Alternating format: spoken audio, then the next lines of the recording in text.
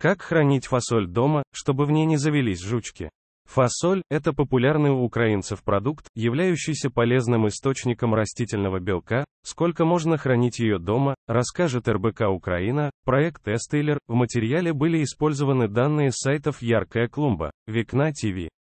Сколько можно хранить фасоль дома?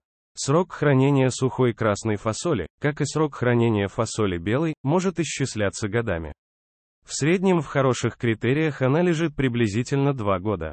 То есть вполне реально, что как минимум до следующего урожая фасоль при правильном хранении не испортится, где и как хранить фасоль, чтобы не завелись жучки.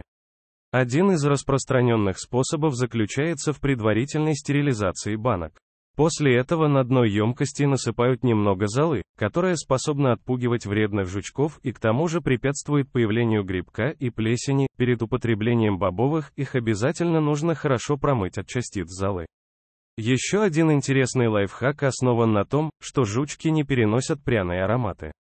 Поэтому в банке можно положить веточку укропа, розмарина или несколько зубчиков чеснока.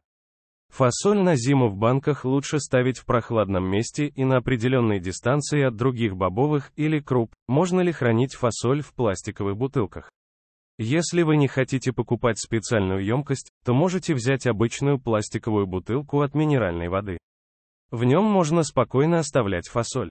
Хранение зимой будет удачным, если сначала просушить бутылку и убедиться, что в ней нет посторонних запахов или дыр. Можете положить в банки пряные травы, лавровый лист тоже пригодится.